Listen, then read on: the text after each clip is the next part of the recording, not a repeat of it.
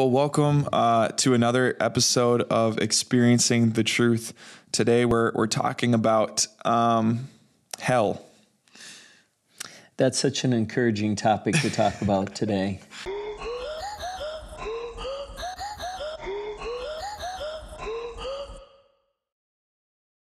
Yeah. Well, it's not the it's not the Turner Burn type of message, uh, the fire and brimstone, uh, but we are talking about misconceptions uh, about you know like the idea this came from a lot of people think that you know I would rather go to hell than be in heaven with a bunch of boring goody two shoes. I would rather go to hell because that's where all the parties are happening.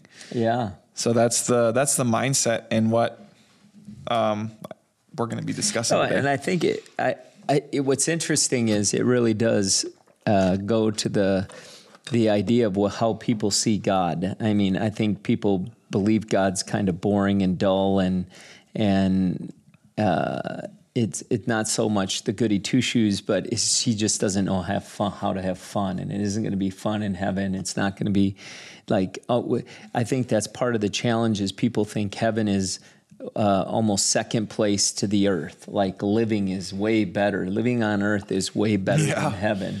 Yeah. And and in reality, it's not the truth. That's not the truth. Heaven is far better than the earth, and heaven is really not our eternal destination. Revelation's pretty c- clear when it says that uh, there will be a new heaven and a new earth. So basically, after we mess up God's heaven, uh, He's going to create an earth for which we live on and exist on. And so, uh, you know, uh, there was a book that came out not too long ago called "The Divine Revelation of Hell." Um, I don't know if you read about read it.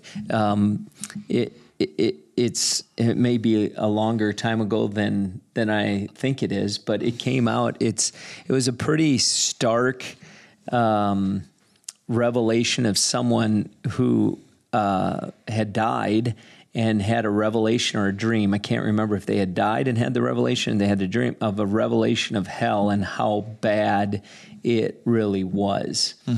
Um, because most people, you know, when you die, it, it, it was like I was talking to someone at a funeral we just did. They said, "Yeah, I hear that drowning is a very peaceful death."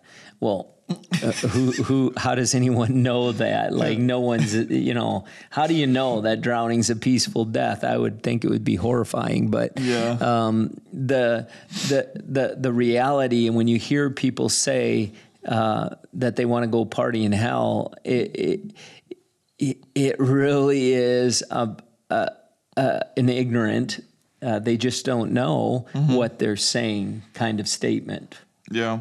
There's uh I've heard it said if you're a Christian, living on this earth will be the closest thing you come to hell. But if you're a non-believer, living this life here on earth is the closest thing you'll be to heaven. Yeah.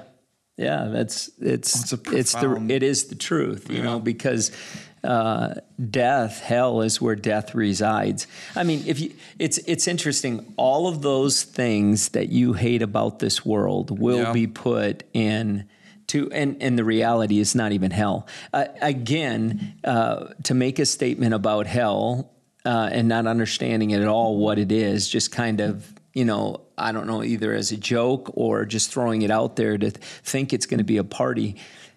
Hell will be punished at the end days. You know, the, the Bible's clear in Revelation. It says there is a great white throne, and at the great white throne, death is judged.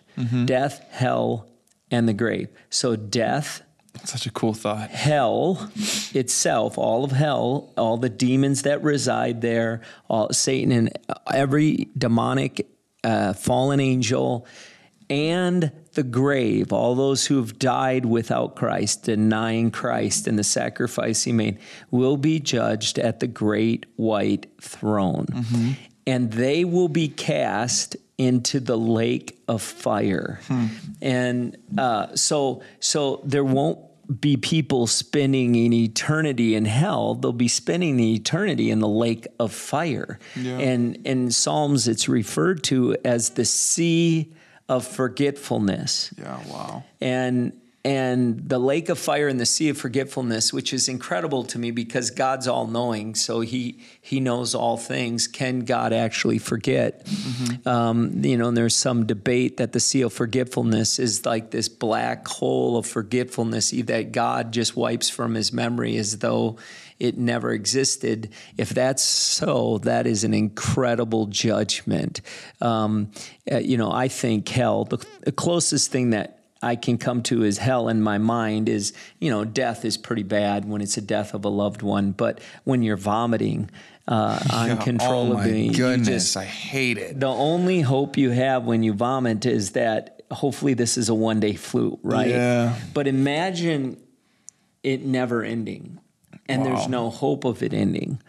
Imagining, imagine for a moment that God doesn't even know you exist. Like you're in the sea of forgetfulness that everything and and really the bible says that your sins are thrown in the sea of forgetfulness or as far as the east is from the west in the sea of forgetfulness yeah so is that suggesting that god forgets it if it's true then those who go into the sea of forgetfulness or the lake of fire would be remembered so you'd be suffering and no one would even know you're there.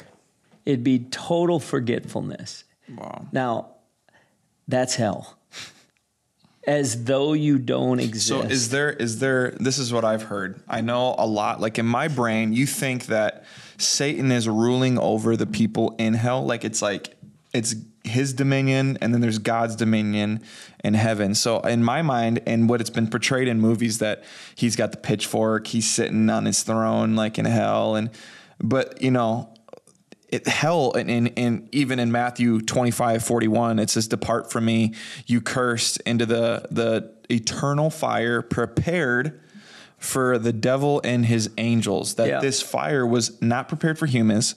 It was prepared for the devil and his angels meaning the devil is the one being punished as well. He's not he doesn't have dominion uh, over that. So that with that being said it's not like a group community that's suffering together. I've heard it says said to be like you're you're in isolation because community is is a part of god as well and that you are suffering alone in your own like pain and regret and gnashing of teeth? Well, I think the only description we really have of what hell could be like currently is um, seen in the story that Jesus tells about Lazarus. Yeah. When he he the the Lazarus was the beggar outside of the rich man's house. They both die.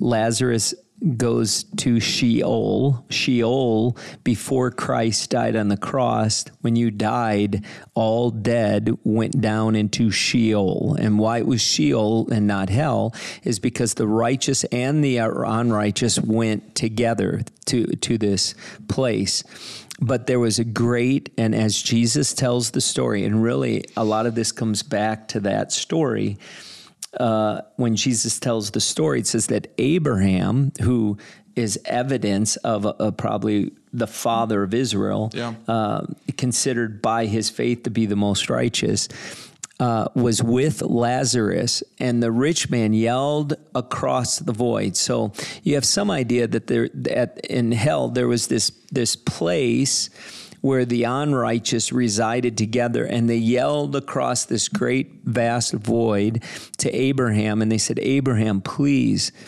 send someone back to tell them that this place exists so that my brothers don't go there.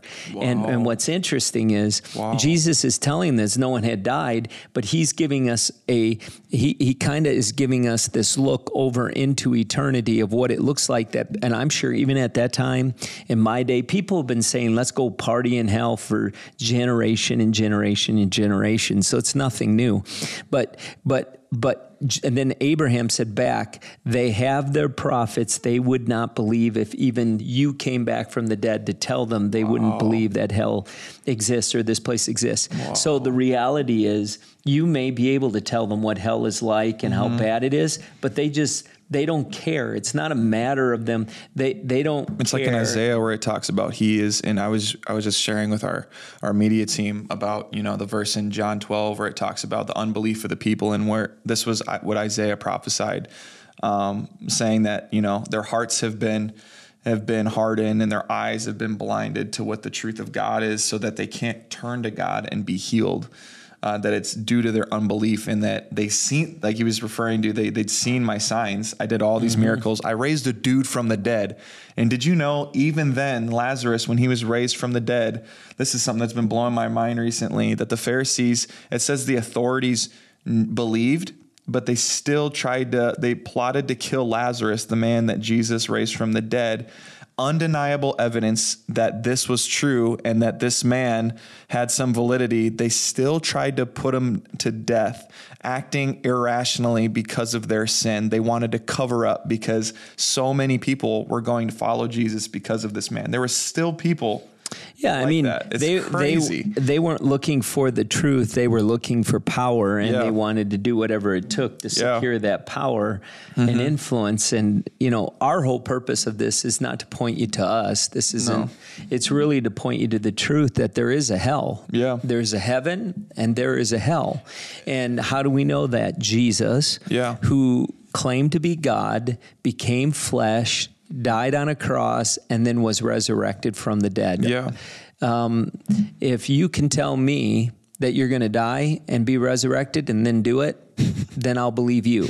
But until you're able to do that, I think I'll just trust Jesus and yeah, what he was exactly. saying and what he was doing. So that one, that that's that's a reality of hell right there. We also have other people. There are other people in in contemporary history that have had interaction with um, demons and even Satan himself. That Satan is a being, uh, a being that will interact with human beings. I mean, if you look at the occult, there's no question that there are um, people who uh, operate in an anointing of Satan uh, as priests of Satan, and they have visitations with uh, the fallen angels and demons. And and if you're sitting there looking at listening to this and thinking, well, that's just craziness.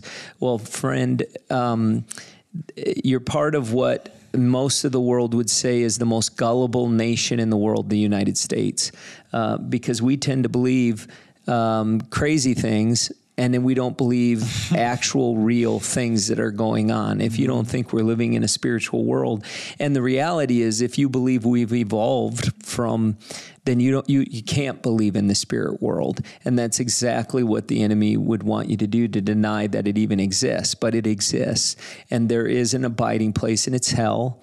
And um, it, it, and that's where you go when you die, if you do not have Jesus Christ in your life, you will go in the pit and and uh, and reside there until.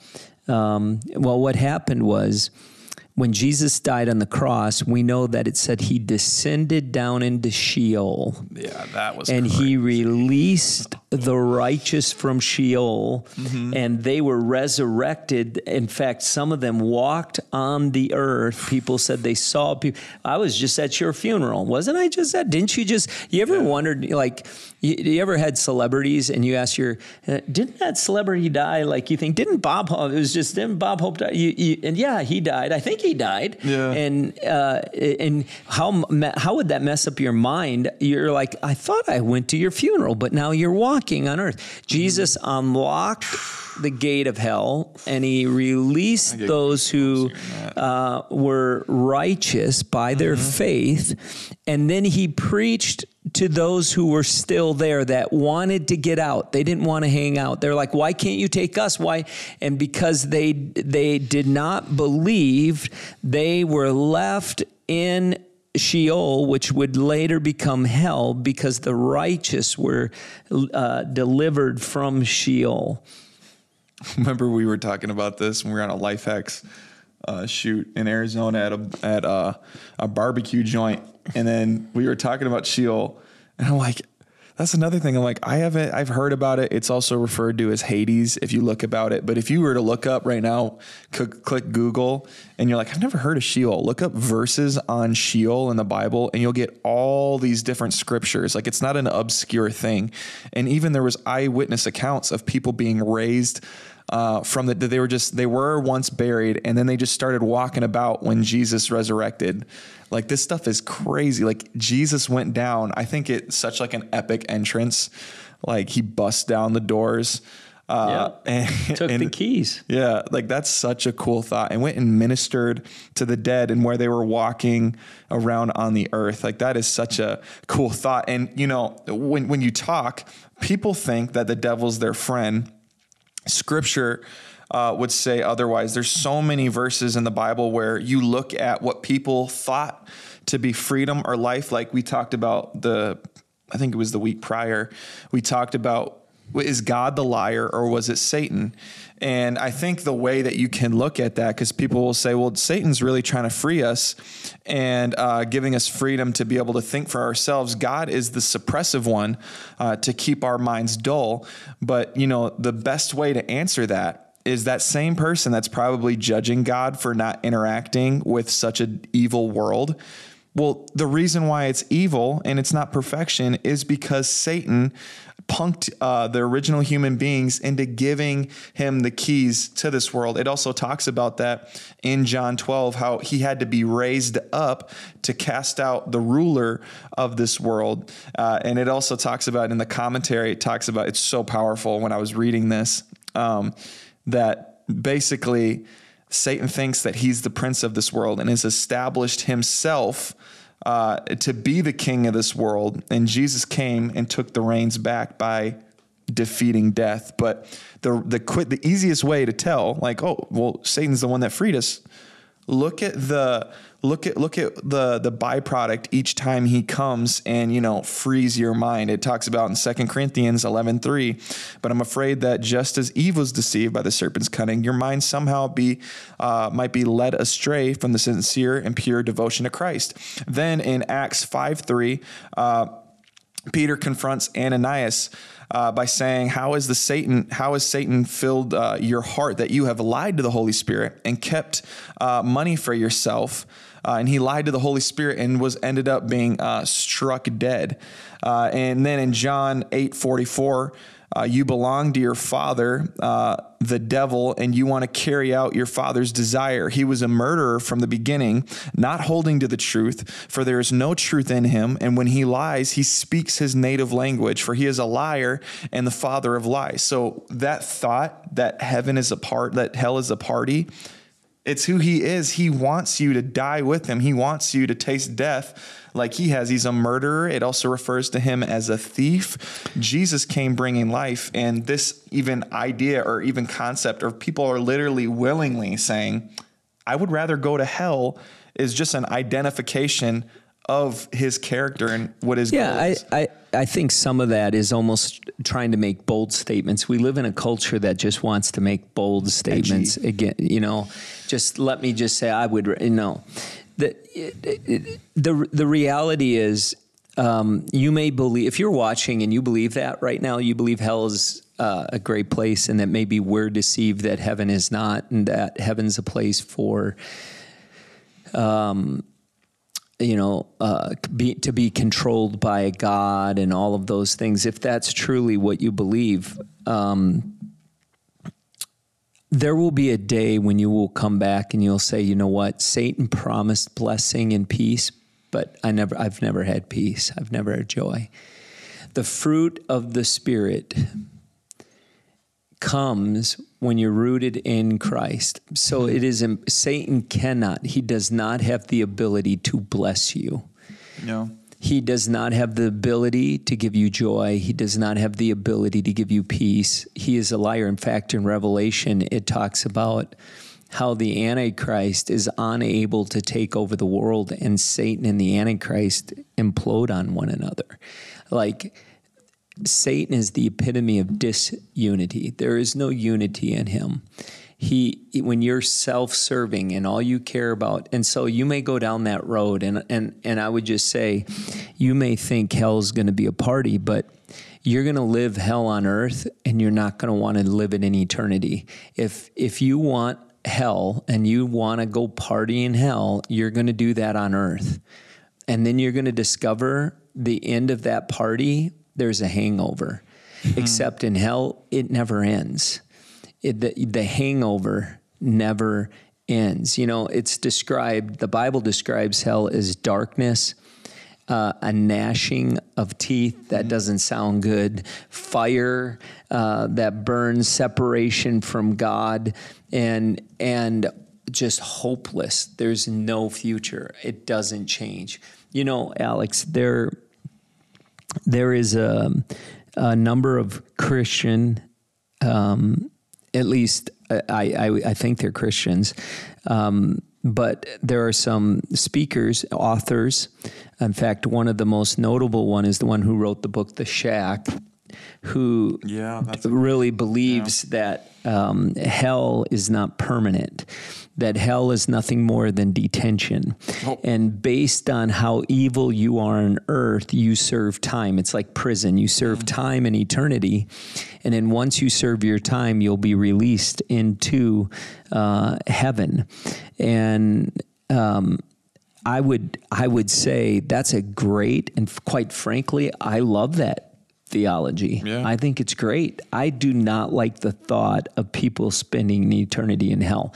And if you like the thought of that, friend, if you like the thought of people spending an eternity in hell, you need to meet Jesus because you don't know him. You do not share his heart. You that is if, if you if you want people to spend an eternity in hell, then you are living at the spirit of the very thing the very one that lives in hell. Mm-hmm. Because the heart of Jesus, for God so loved the world mm-hmm. that he gave his son so people would not need to go to hell, mm-hmm. that we could be free well, from it's, hell. It's like a, you know, you see it a lot of times in the Bible, the most like, you know, the legends and, and the faith with, um, you see it with uh, Moses where he pleads for the Israelite, Israelites' forgiveness because God was ready to smite them uh, due to their disobedience, and then gives asks for God to take his life instead. You see it with Abraham uh, pleading with the life of the people in Sodom and Gomorrah by saying that if there's if there's 25 righteous men, if there is X amount of righteous men, will you spare them? And you see it with Paul. Uh, one of the greatest, you know, missionaries I see, like in you know, an amazing communicator of the gospel and defender of the faith, he, saying that he would rather uh, be cut off from Christ than see his brothers like go to hell. Like he would rather swap places uh, with him, with them. Like that is the heart. Not that this, and this is this is where I think hell needs should be talked about more because it's a sobering reality that's why it also says in the scripture where it's better to be in a house of mourning than a house of feasting and celebration, because that's our end goal. That just like how we were all born, we all have like a day where we celebrate our birthday. There's a time where we're going to die and give an account of the life that we lived.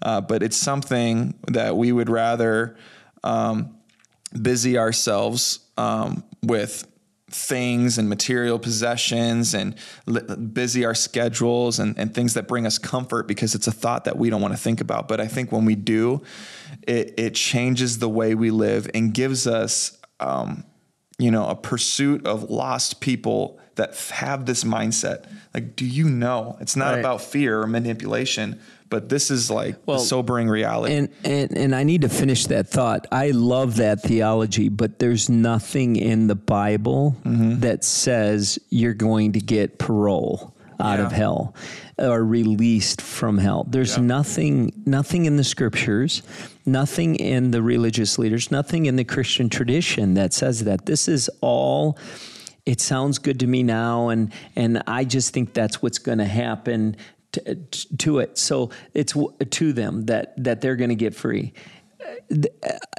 Quite frankly, in what you were just saying, that's why we're so desperate to share the truth with people who hear. Yeah. And and just as Abraham said to the the one who was in the rich man that was in hell, and yeah. he said, "We could send back the dead, and they're not going to listen." Um, in Revelation, right before the Battle of Armageddon, Jesus comes mm-hmm. back and personally preaches to those that are there and says, Please repent, turn in your thinking, B- serve me. I don't patient. want this to happen to you. And this is three days before the Battle of Armageddon and Mm-hmm. after all of the plagues of the tribulation and everything. And Jesus comes and preaches to try to rescue people. Wow. God is not trying to send people to hell. He could if he wanted to. Yeah. He he's not trying to destroy mankind. He's trying to save mankind. What he's sending to the lake of fire. And people say, "Well, I don't believe God will send anybody to hell." Um, no, we make that decision. We were born on the path to hell. He set his son in the path. You have to mm-hmm. step over his son in order to get to hell. Mm-hmm. And and it's not you he's sending, it's your sin that you won't let go of. It's Yeah. the sin that you claim as your own. And when you make a statement, we're going to party in hell, essentially what you're saying is I don't need a savior and and and I'm not I don't think I'm a sinner. I think all of the things that I want to do is just perfectly fine. Mm-hmm. And yet all of the problems we have in the world, the things that you despise the most, I promise you, the things you despise the most in the world all come back to sin.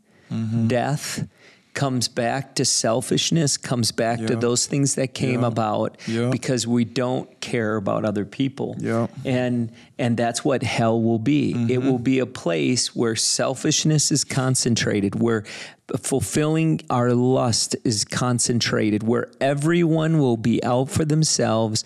And and for Satan, mm-hmm. some believe that in, in some respects the lake of fire may be also a place of a pit where there's constant falling. And when you're in a co- constant free fall. Now, I don't know if this is true. There's not much I have there. I know Satan will be in a bottomless pit, which means you're just falling because when there's no bottom, you can't hit bottom a bottom. So Satan will be placed in a pit where perpetual falling, which means there's nothing there's nothing stable. It's endless. That that I can't even if that doesn't make you want to go out and uh, share the love of Jesus with people, um, then I don't know. Nothing will. Nothing will. When you think of an eternity of that. Yeah, there's there's a thing. It's real simple. It says, "For the wages of sin is death." So if I were to work at, I used to work at Finish Line, uh, and at the end of the you know the two weeks, my pay period, I got a check for the work that I did. We get this concept. Uh, we live in capitalist America. Like this is this is what you do. You get what you pay for. Now, if you live this life for the wages of your sin, the way you live your life right now, apart from Jesus, those that those wages that you are going to um, receive at the end of your life, that pay period is the end of your life. That those wages that you receive will be death.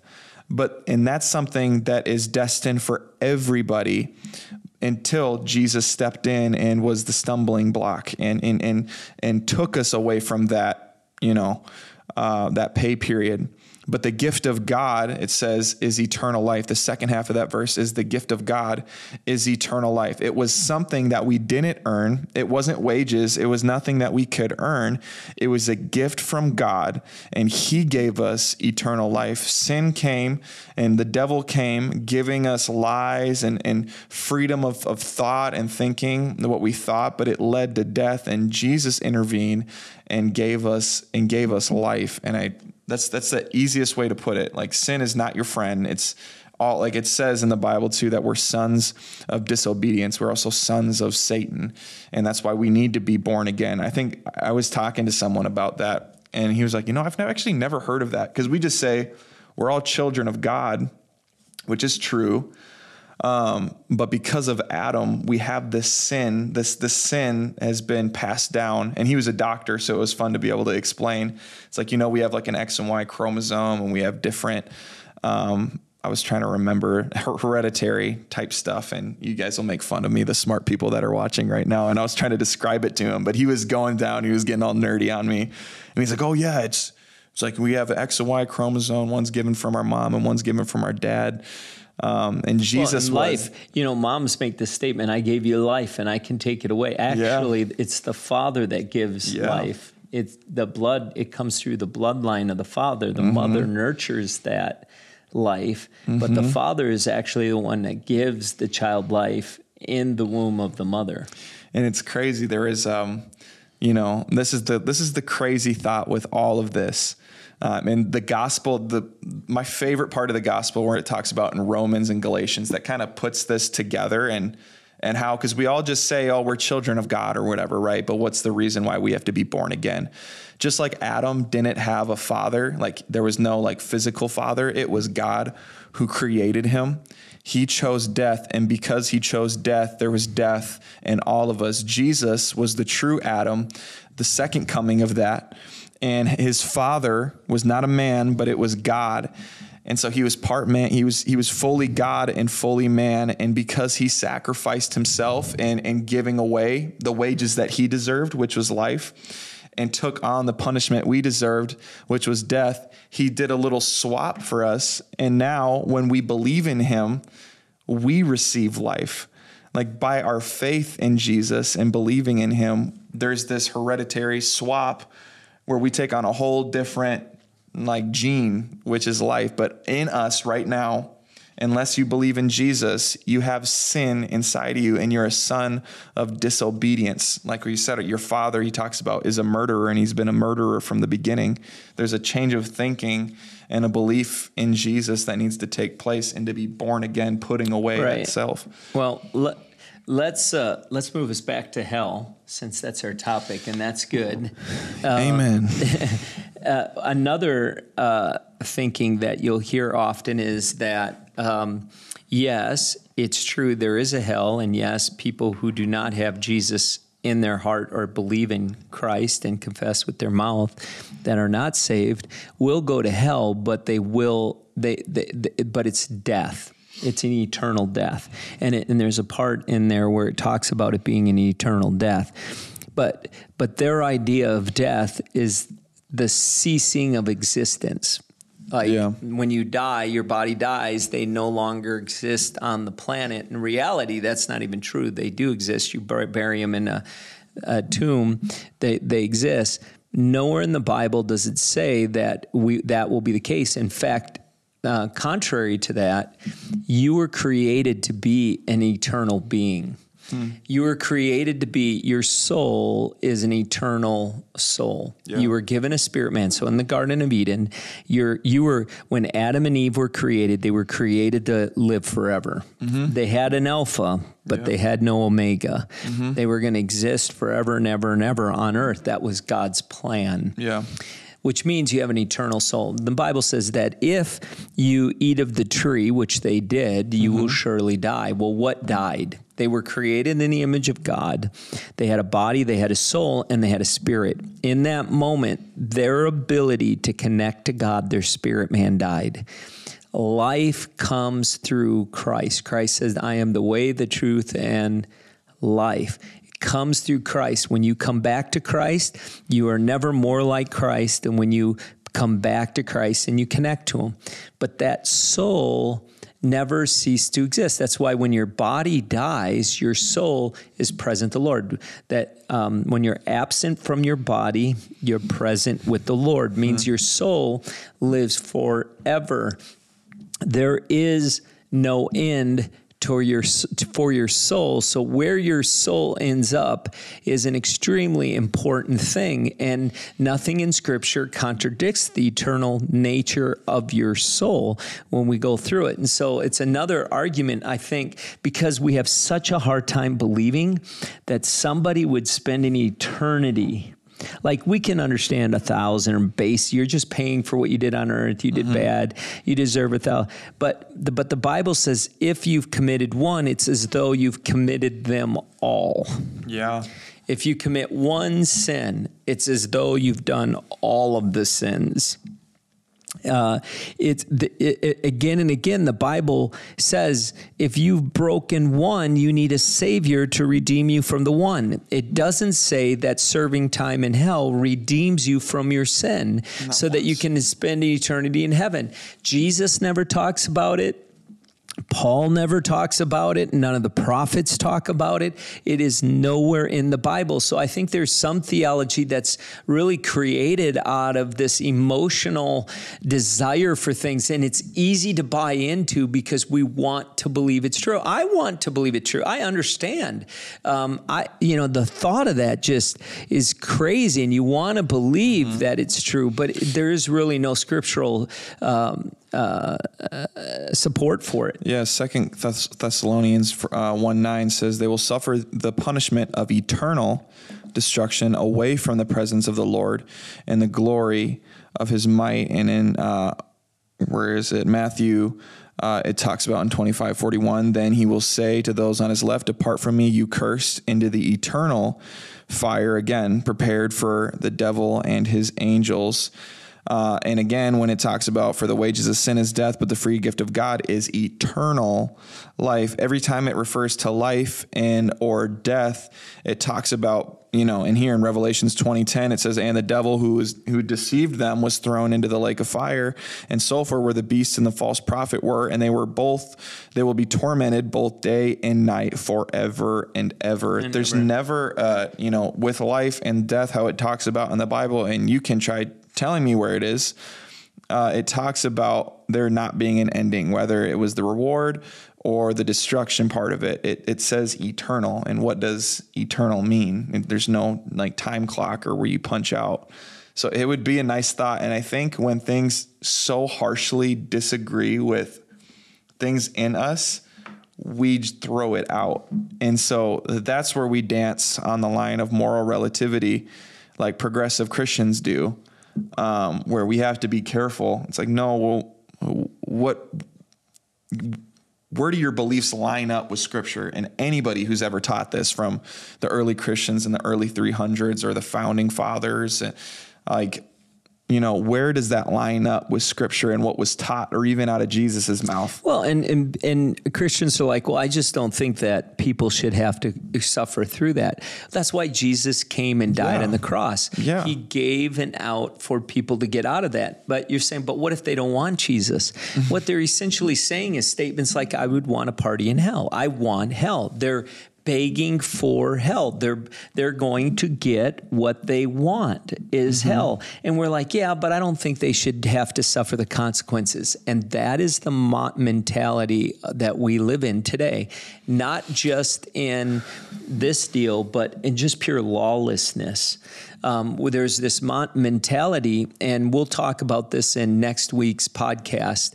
I want to talk about the the the uh, the position of the law in a the Church of Grace, hmm. um, because uh, we have like if we if we if we throw out the entire law, what you now possess is lawlessness, mm-hmm. and God never intended His Son to bring lawlessness. And the enemy has deceived many believers to think because we're saved by grace, which is an incredible thing mm-hmm. in and of itself, praise the Lord. Because we're saved by grace, we no longer need to live by laws. Like laws aren't important anymore. And what that lends itself to is lawlessness, where people end up doing anything they want to do. It leads them down that road, and and and um, and I think that changes our thinking so that when we look at hell, we have a hard time reconciling the fact that there is one way to e- to eternal life, and that's Jesus Christ. Yeah. There is no other way, and we can't console our minds because we're not telling people that. We don't want to tell people that. Um, so we we try to console our minds that well they may go, but it'll only be for a little bit, or they may go, but it's they're not going to exist forever. They may yeah. go, and and and you have to rewrite the Bible or rewrite Scripture or rewrite what Jesus said. To, in order to console your mind that that they're going to be okay it's, with that. It's hard too because you know um, you see a lot of times when you know people that aren't even Christian necessarily, it's like fly high or like you're an angel or like, you know, like look out for me up there and, and stuff like that. It's, it's like a sad thought because obviously you would never confront anybody and be like, well, actually, but it's true. It's a lie that we believe that brings us comfort to those. But reality and the hard truth is that if they didn't believe in Jesus, they're they're not in heaven.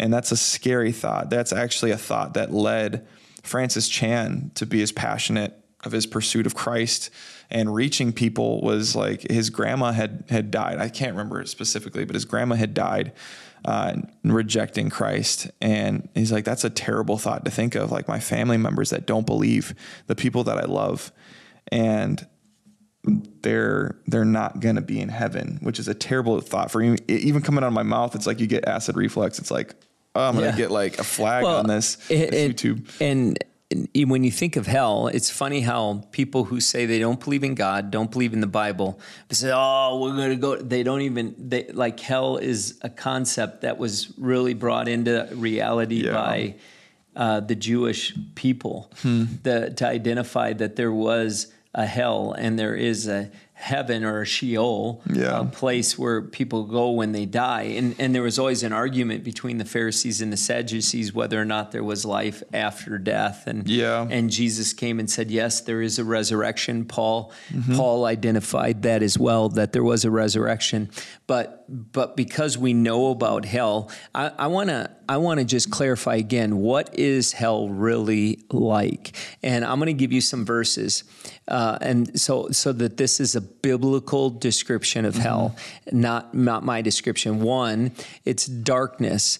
Um, the Job, which is the oldest book, describes it as uh, the land of the deepest night, utter darkness. Uh, Nahum 1 8 says the realm of darkness. Uh, Matthew 25 30 calls it uh, thrown outside into the darkness.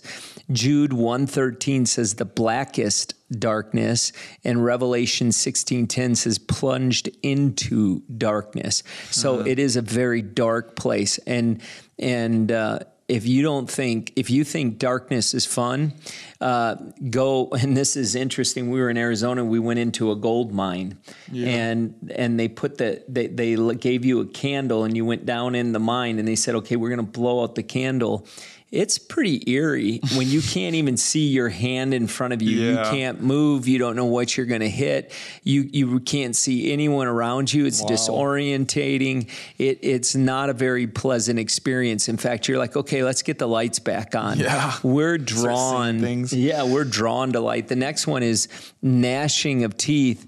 Um, that and this is mentioned so many times in the Bible the gnashing of teeth. Um, and and you see this you'll see these scriptures in Matthew 8 12 and Matthew 13 50 Matthew 22 Matthew 24 25 it refers to it as that fire that there's fire. And in hell. And I think most people e- equate hell with fire. They call it hell's fire. Uh, Matthew 13 says blazing furnace. Matthew 5 says a fire of hell. Matthew 18 says eternal fire.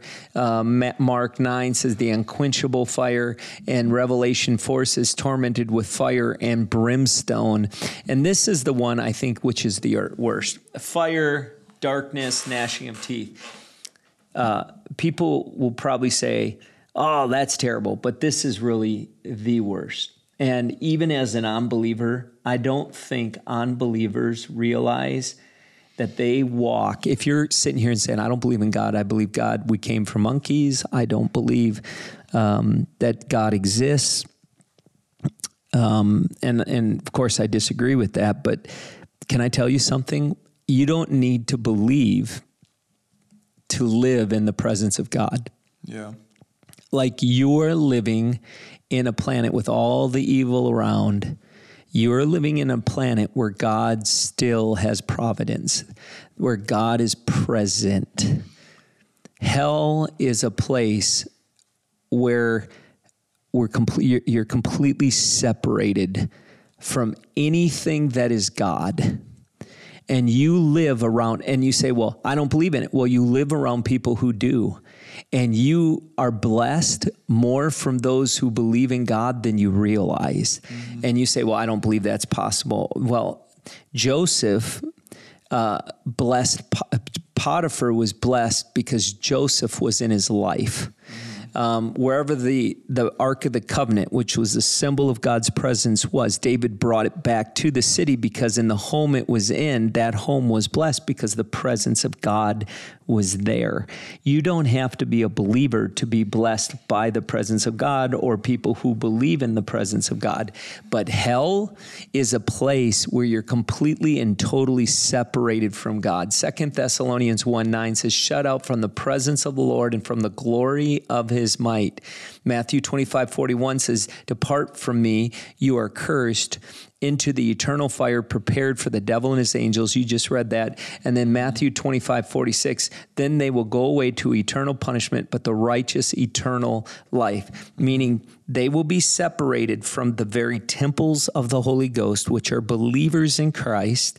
They will no longer have community with them and and in turn not experience any of the blessing that they get to share in because they're standing along with them in the community of Christ. And and I think a lot of people believe, well, I'm blessed and I don't serve the Lord. You're blessed because you're in the community of people who are blessed, yeah. and you're getting the residue of that blessing on your life. Yeah, and um, this was a verse that was just, you know, it was it was one of those verses that you you get that aha moment.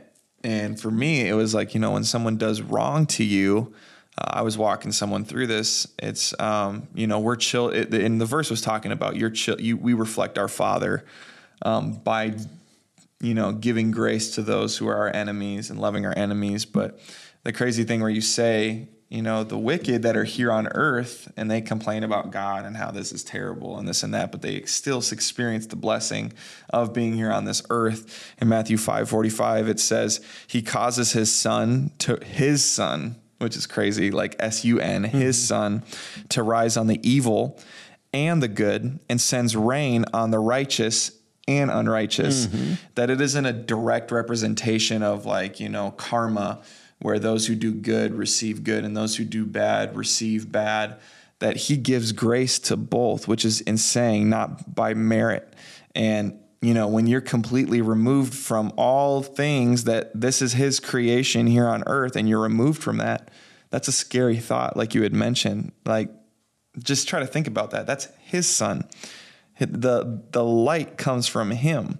And to be separate from all those things, like, like we talked about, you being on earth and not having belief in Christ is going to be the, this life is going to be the closest thing you'll experience to heaven. Even if you lived a terrible like horrible life closest thing you you'll come to heaven. Uh, but for us us christians this will be the closest thing you come to hell. And that's an insane thought for the unbeliever and why you know this needs to be communicated. God has we talk about in revelation and and his patience and even his patience to let his sun rise on the evil and sends rain like to the unjust like his patience and his grace is so hard to comprehend. And it's, you know, that's an uncomforting thought. Like we don't get what we deserve.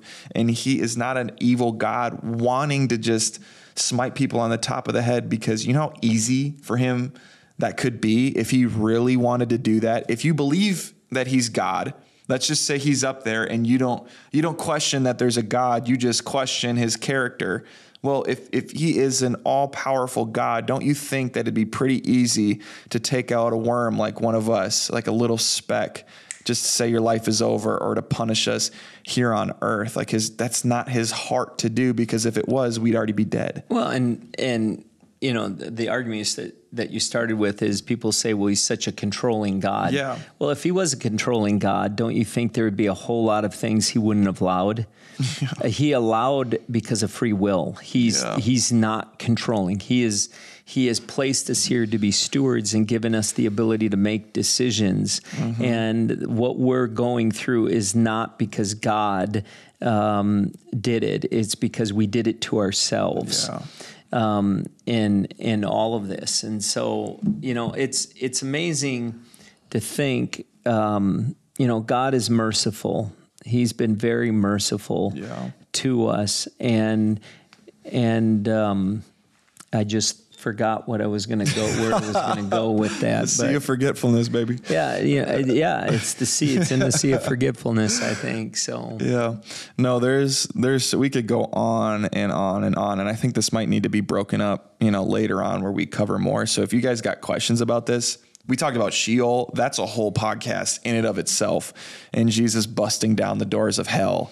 Um, but there's a lot to unpack here. But for you to get across, one, I would say to the believer listening to this, how are you living your life to reach those around you? If you truly did uh, have the, it's like having the cure for cancer and you don't tell your friend that's dying, uh, you know, a very painful death, uh, and you have the, the, you know, the solution all along, how terrible of a person would you be? Now that's just making it practical you know, this is what like the mindset I think we got to carry with everything you just learned today. How is that going to change your life uh, to those around you, those those people that are unbelievers? Um, you know, and I'd say to the person also that thinks it's going to be a party in hell, I would encourage you not to play Russian roulette with your eternity. That if you truly think that's what it's gonna it's gonna be, you know, look at other religions see what they say about it, look at Christianity and see what the Bible says about it. Uh, because I think that you are being deceived of by the father of lies, who is a murderer and hates you, and don't get punked into giving away your, you know, your right to to eternal life that Jesus had already bought and purchased for you. You just haven't gone uh, to pick it up from the store. Like, don't be punked out of your reward and your gift uh, because you have an issue with this character. God has incredible patience. And even though you don't believe in him, the sun still rose and, and, and there's not an eternal rain cloud over you. And, and you have, you have blessing right now. So don't take that for granted or get fooled into giving this, this gift of eternal life away because you have an issue with his character. Yeah. So I remembered what it was. I pulled it out of the sea of almost forgetfulness.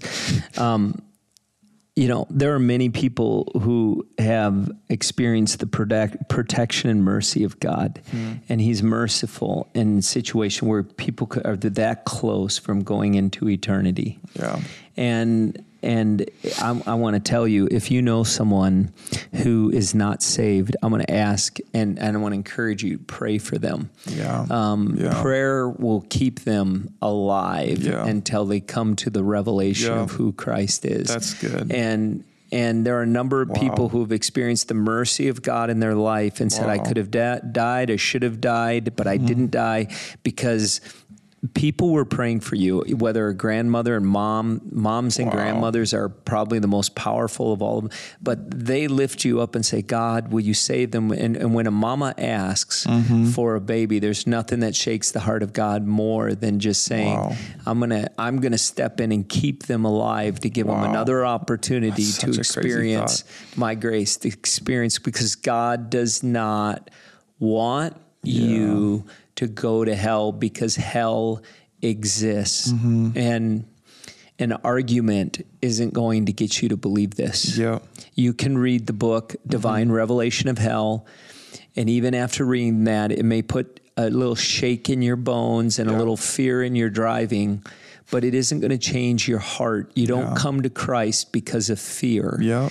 You come to Christ because of love. Yeah. You come to Christ because you have a divine revelation mm-hmm. of his love for your life and and he plucks you from hell. And the sad part is people when they say I just I want to go party in hell. I want to go they really don't know how much God loves them wow. and and and when you know his love you'll turn mm-hmm. your attention to him and yeah. and you'll look to him. I always say this if if my wife, if my father-in-law had said to me, "Well, you can either marry my daughter or I'm going to shoot you."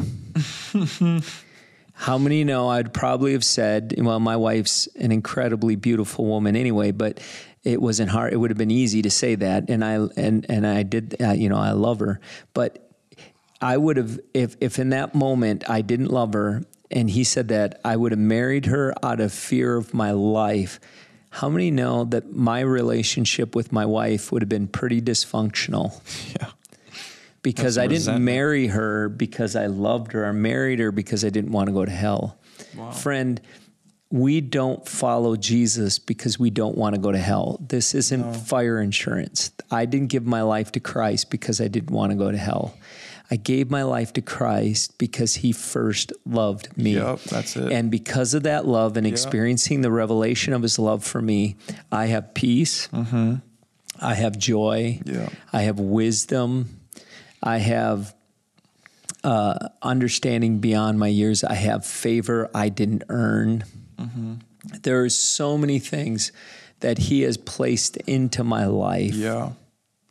That I didn't have before. Yeah. And it, this is so much greater than hell Hmm. Yeah. and whether or not it exists, of which it does.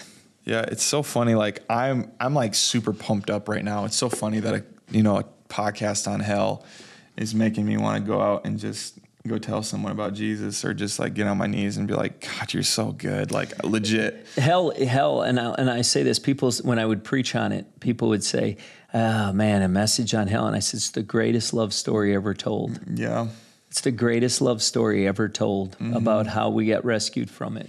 yeah, because you think that. He, it's like eh, we have this manipulation mindset, but you know, to close it off, the this is the something that Paul talks about. He says, um, his kindness has led us to repentance that it was god's kindness his patience that has led us to repentance. Not not people's manipulation.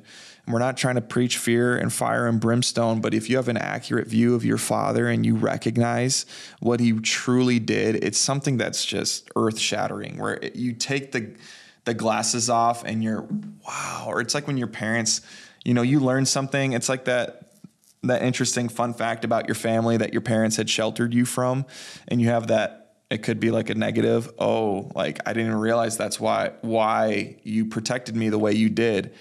It, it's like a it's like that revelation but you know in a good sense where you the glasses come off and you see a di- totally different perspective other than what people just tell you who he is and you totally understand what Christ has done and that this whole time he's given you patience and and he's still been kind to you even though you could have died in your sin and transgression that he he gave you an opportunity to follow him and had sent his son previously before you even were born as a gift that has already been given to you. It's it's such a crazy thought when you when you start to think about that. It's it shakes you. But until you truly do believe, um, you're gonna struggle. You like I, I'm gonna I'm gonna pray for you guys. Um, that you would have that encounter with Jesus because I realize, you know, God's been working on me that it's not human persuasion that leads to people's like revelation. It's, it's, uh, it's God who does that. I, I'm here to collect the harvest. Like God, what you can do, what only you can do, in the miracle of pro- providing that revelation and who He is. When Peter says, "You are the Christ, the Son of the Living God," in Matthew 16, 16, Jesus recognized that His Father was the one that revealed it to Him. Um, and that's what the Father has to do for you. And if you if you are humble and ask, He will reveal Himself to you. But the thing is, pride gets in our way and keeps us from God because God opposes the proud. I, I, pray for you guys. I, I'll, we'll we'll pray right now. I feel like we gotta in this type of podcast. You want to close it out in prayer and pray for those that are watching it. It feels weird. I'm like, it's so weird. I'm like in a weird spot right now. I'm like, I'm like super emotional right now. I feel like this is like a call to salvation uh, type of message. So we're, I'm gonna just, we're gonna just do this right now. If you're watching on the other side of the screen, uh, you're listening to this right now, whether you are. Uh, kind of been in a lukewarm faith, or this is your first time hearing about the goodness of God and you're open to it. That's what we're going to pray for right now. So, Pastor James, Why don't you go and do it, my brother? you, all You, you got it. All right. God, I thank you for everyone that's that's listening to this or watching on the other side of the screen right now. God, they might not even know who you are. They might not have even grown up in church or even been able to develop misconceptions because they just never have heard about this. God, I pray that you would show them who mm-hmm. you are. not what the world has shown them or what they heard about or read about from a secondary source, Father. Your presence is alive today. And regardless of whatever time they're watching this, I pray that your presence, as yes. under the sound of my voice, would come into that space where they are right now, and they would encounter the peace and love uh, that you provide. You say you bring peace, not that the world gives, God, and I pray for that peace to rest on them. God, I pray that they would encounter that, and would that be a sign that this God is real? I've tested everything else, and everything else is this constant falling, like we talked about, that, that there's no firm foundation in it. God, I pray that they would find the only foundation in peace to this life, which is your Son, Jesus Christ, who saved us from the grave and gave us eternal life. God, right now, I pray that they would, they would accept that truth and all lies would be silenced by the mouth of the enemy that would try to murder them and lead them to death. God, I pray that your voice right now would overwhelm their heart, that they can't help but just give their life to you. And it's out of love, Jesus. God, I pray this in your name. Yes, Lord. Amen. Amen. And if you made that decision uh, today and you prayed that with me and you came into agreement, this is not where it ends. I want you guys to, uh, the, the second part of that is community. And, you know, having someone to walk alongside you in this journey of faith. We're not here to just abandon you and, all right, go try it on your own uh, we want to have a relationship with you. One way you can do that is email me at pastoralex at bethelsrock.org. Uh, or you can click the link. We always put a link in our comments where if you click it, uh, the online connect card, you will be able to fill that out. I will get your information. It'll give me a, uh, right when you fill it out, I'll get a confirmation and I will reach out to you by giving you a call and following up with an email or text or whatever I got to do. But you're, you belong you're you're created to be in community and you weren't meant to do this life alone. So I encourage you if you have questions even too, you disagree with it, send it send me an email. Um, and we want to start the relationship with you guys. If you made that decision, there is, you know, a celebration going on in heaven as we speak. This is, you know, this is a life changing thing. Mm-hmm. It's not a small decision. But, anyways, we got to cut this off at some point. Otherwise, we're going to be going on like on two hours here.